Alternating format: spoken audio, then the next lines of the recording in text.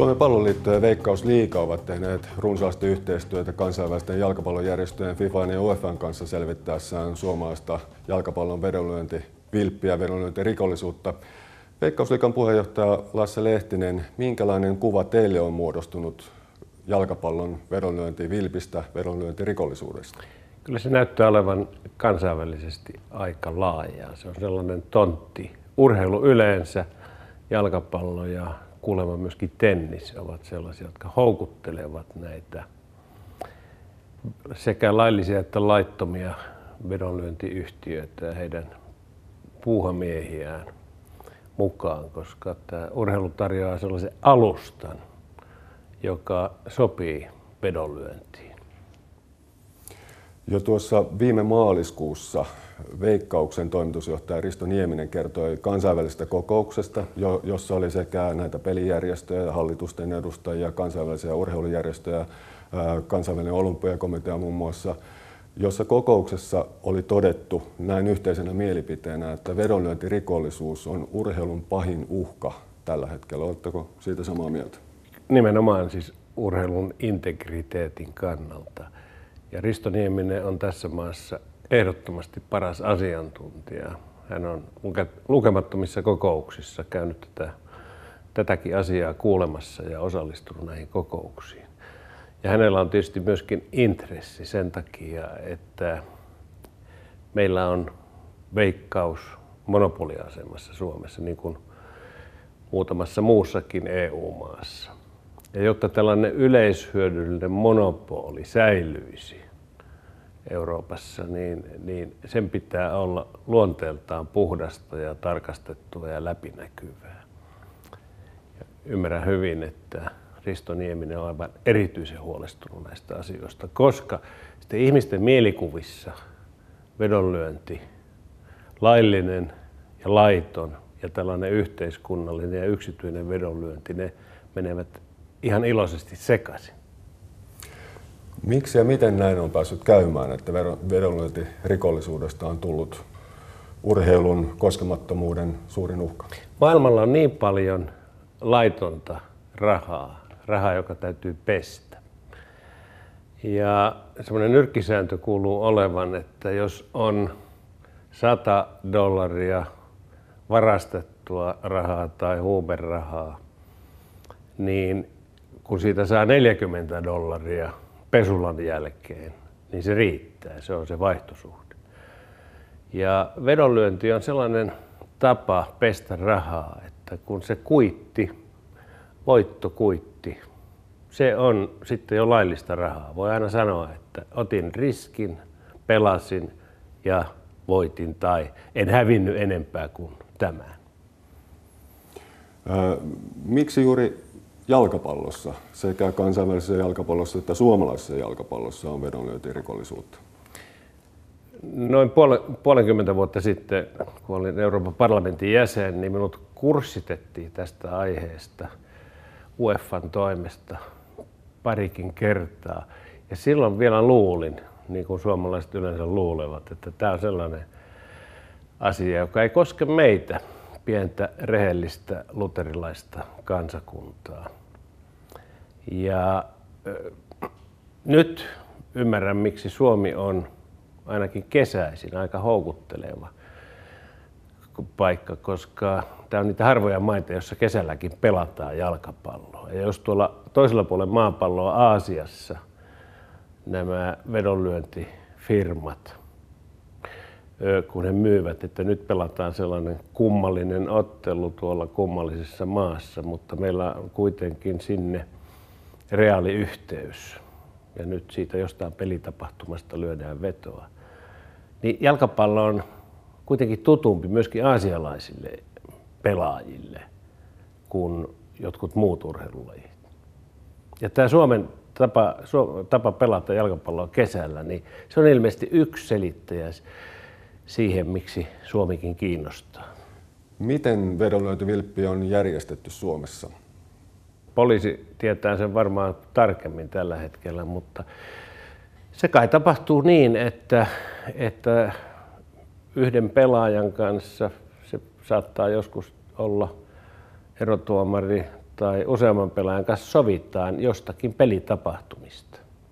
Nythän ei enää pidä puhua sopupeleistä, koska sopupeli, vanhanaikainen sopupeli oli sitä, että koko joukkue tiesi, kun se oli itse varmistanut sarjapaikkansa tai voittonsa, niin se tiesi, että voi vähän löysätä jonkun, jonkun pelin kohdalla.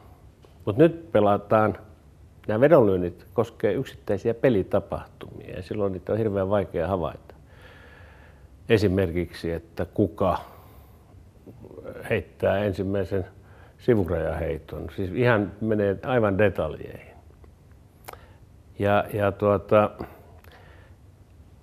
sitten sovitaan näiden pelaajien kanssa, jotka ovat alttiita tällaiselle, että, että kun siinä ja siinä pelissä teet sen ja sen, niin saat määrätyn summan rahaa. Ja Suomi on tietysti myöskin sillä lailla otollinen maa, että kun täällä pelaajapalkat ja palkkiot ovat kuitenkin aika vaatimattomat, niin pienikin tulonlisää sitten saattaa houkutella. Suomen kunniaksi on nyt sanottava se asia, ja se on herättänyt kansainvälistäkin huomiota, että täällä otettiin kiinni Interpolin etsintäkuuluttama kansainvälinen rikollinen. Täällä asiaan puututtiin heti ja tarmokkaasti. Ja täällä sitten sekä palloliitto että veikkausliiga tekivät omalta osaltaan aika dramaattisia toimia. Ja olen antanut kertoa itselleni, että tuolla muualla maailmassa vähän kummastellaan, että miksi täällä Suomessa ollaan näin tarkkoja.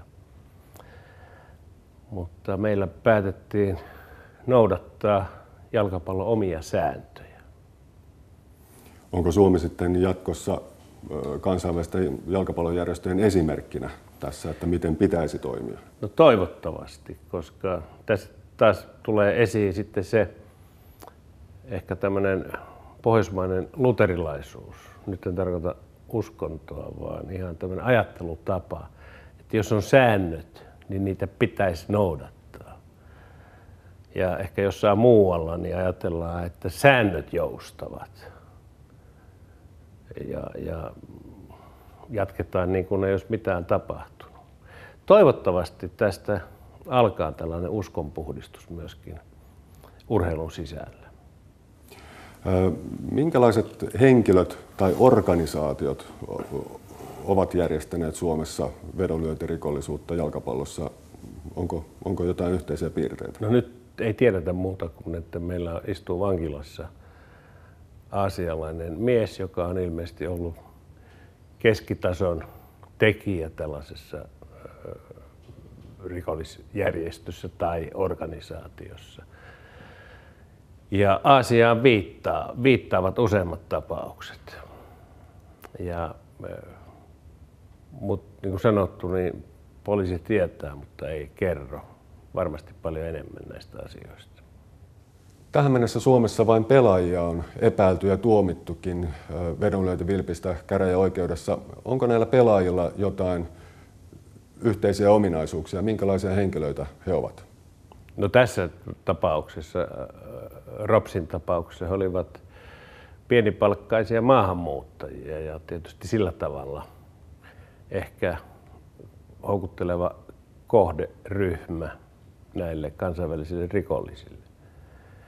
Mutta niin kuin sanottu, kun kysymys ei ole lopputulosten järjestämisestä yleensäkään, vaan yksittäistä pelitapahtumista, niin silloin tietysti se pelaaja tai pelaajat ovat avainasemassa. Ja muu joukkue saattaa pelata kaikki pelit täysin viattomana ja tietämättömänä siitä, että siellä on yksi tai useampi pelaaja, jotka ovat tehneet jonkun sopimuksen jonkun rikollisjärjestön kanssa. Mutta nythän toivotaan tietysti, ja varsinkin Veikkausliigassa ja Pallonliitossa käsittääkseni, että, että meillä ei enää olisi tällaisia tapauksia. Ja nämäkin ovat kuitenkin parin kolmen vuoden takaisia, joita nyt pengotaan. Ja iltarukouksissa toivomme, että tämä oli tässä. Ja nyt mennään sääntöjä noudattaa tästä eteenpäin. Onko Veikkausliiga viisastunut vahingosta tai pitäisi tietysti kysyä, että miten Veikkausliiga on viisastunut vahingosta, eli millä tavalla seurat Veikkausliiga pystyy havaitsemaan ja, ja estämään tämmöistä vedonlyöntirikollisuutta? No rikollisuutta ei pysty estämään. Siis meillähän on liikennesäännöt ja silti joku ajaa ylinopeutta. Että sitä ei koskaan pysty estämään, mutta pystyy haistamaan ja huomaamaan ehkä joitakin asioita. Oli tyypillistä se, että kun asialainen yhtiö otti yhteyttä Hakaan, ja sieltä näytettiin Veikkausliikan toimistolle ja Palloliitolle sitä kirjettä.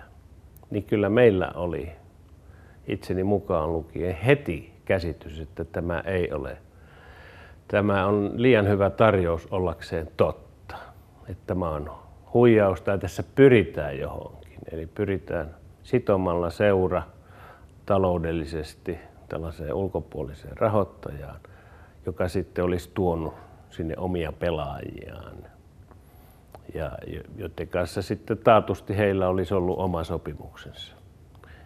Ja me annamme varoituksen sitten heti kaikille liikaseuroille, että jos tämä yrittäjä tai tämän tapaiset yrittäjät lähestyvät teitä, niin pysykää loitolla.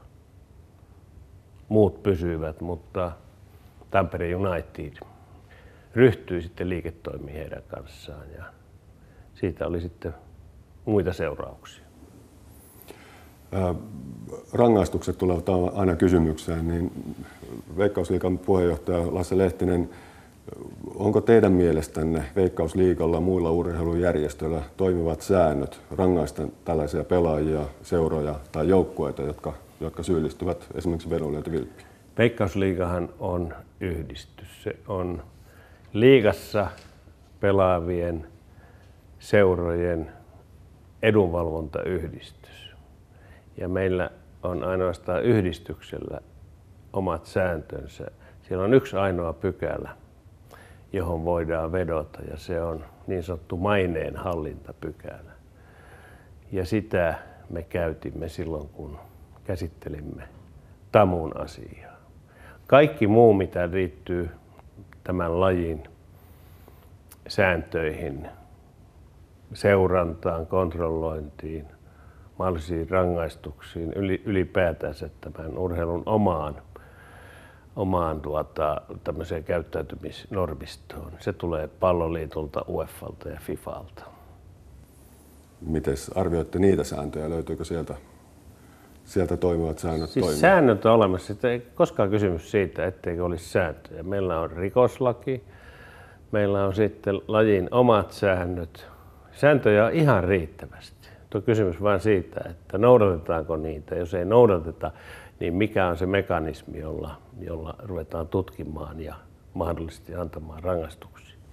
Mikä on laillisten vedonlyöntiyhtiöiden vastuu vedonlyöntirikollisuuden ehkäisyssä? Pitäisikö jotain pelimuotoja, esimerkiksi live-vedonlyöntiä, jollain tavalla kontrolloida jatkossa? No Suomessa oikea, oikeat tahot vastaamaan tähän ovat tietysti Veikkaus ja Raha-automaattiyhdistys ja Toto. Ja mä olen ymmärtänyt, että he ovat entistä tarkempia omassa toiminnassaan ja yrittävät nähdä näitä heikkoja signaaleja ja yrittävät hoitaa asiat siihen malliin, ettei ainakaan näissä järjestelmissä pääsisi vilppiä tapahtumaan. Niin kuin sanottu, niin se on myöskin heidän toimintansa jatkumisen ihan perusedellytys. Ja nämä eri maissa sijaitsevat monopoliyhtiöt, niin kuin Suomessa Veikkaus, niin saavat oikeutuksensa juuri siitä, että tuotot eivät mene mihinkään yksityisiin taskuihin, vaan niillä yleishyödyllisiä asioita hoidetaan, urheilua ja kulttuurin rahoitusta. Ja jotta tämä yhtälö toimisi ja jatkossakin jatkuisi, niin totta kai heidän, sen takia sanon, että Risto Nieminen on parhaiten Suomessa perillä näistä asioista, koska hänen firmansa takiakin pitää olla niistä perillä. Lasse Lehtinen, teillä on pitkä kokemus yhteiskunnallisena päättäjänä sekä kansanedustajana että europarlamentaarikkona, niin miten tämmöinen vedonlyöntirikollisuus, urheilun vedonlyöntirikollisuus vaikuttaa urheilun asemaan, itsenäiseen asemaan, itsenäiseen päätöksentekoon? Se on sillä lailla hankala asia, että jos penkkiurheilija katsojan luottamus kovasti rapistuu siihen, että onkohan, pelataankohan tuolla nyt rehellisesti vai onkohan tuossa jotakin filunkia, niin, niin se totta kai heikentää niin urheilun arvostusta kokonaisuudessaan ja se heikentää sen asemaa esikuvana nuorisolle ja koko tämä niin kuin eettinen puoli kärsii siitä. Ja, mutta se on selvää, että se on niin houkutteleva äh, alusta tällaiselle, varsinkin koska äh, kilpaurheilussa ja näissä joukkueen lajeissa liikevaihdot ovat niin suuria nykyään.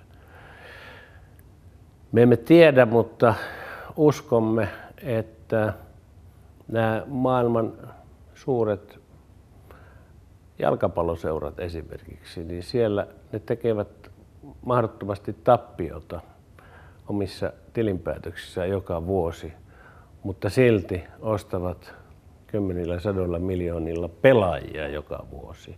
Siinä on joku asia, joka ei, ei, ei toimi siinä yhtälössä. Se tarkoittaa tietysti, että sinne upporikkaat oligarkit tai miljardöörit käyttävät sitä harrastuksena, mutta käytetäänkö sitä johonkin muuhunkin? Sen esimerkiksi UEFA haluaisi tietää.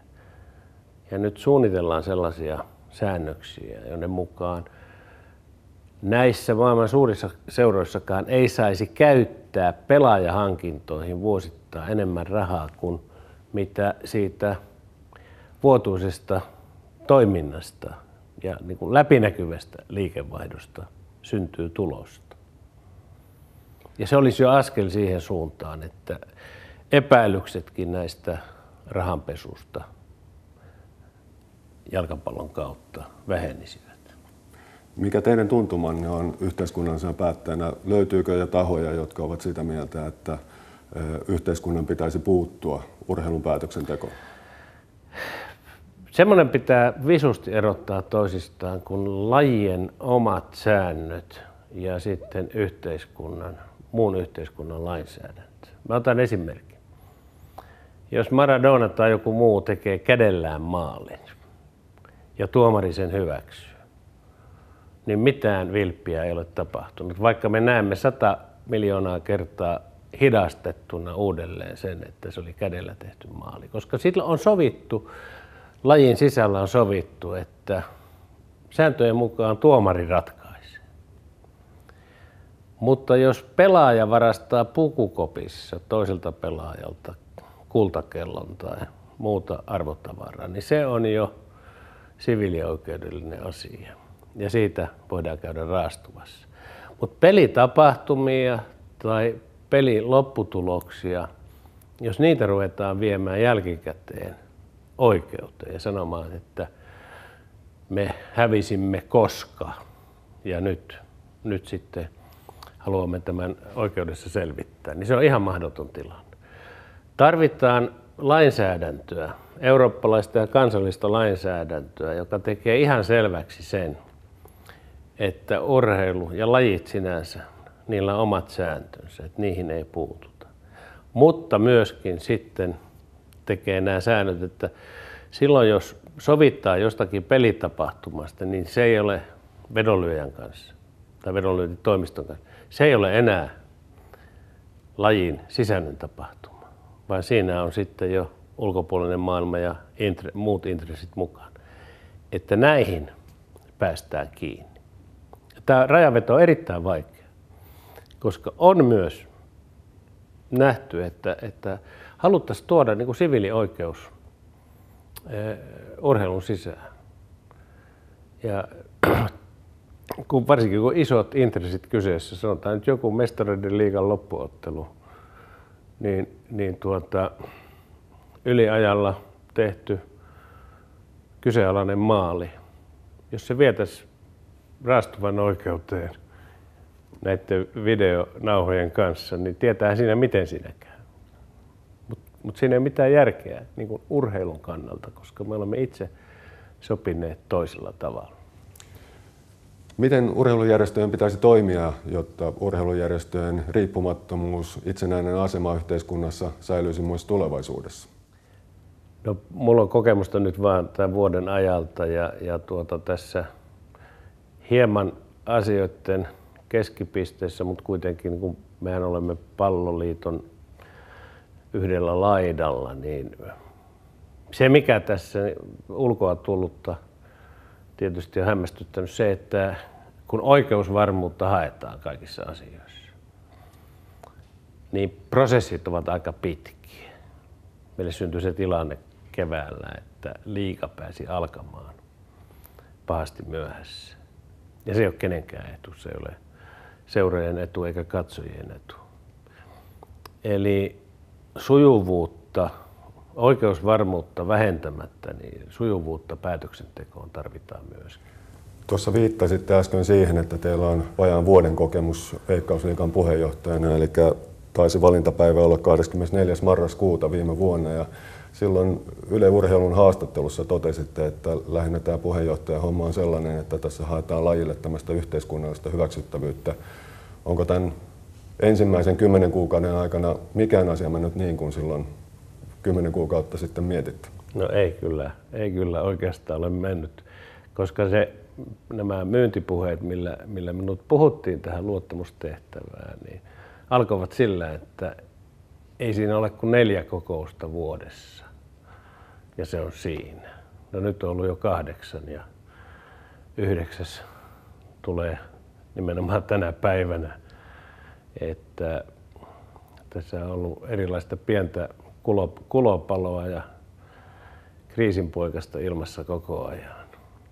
Mutta toisaalta niin eihän näissä hommissa pidä lähteä siitä, että se on pelkkää myötämäkeä ja päivänpaistetta.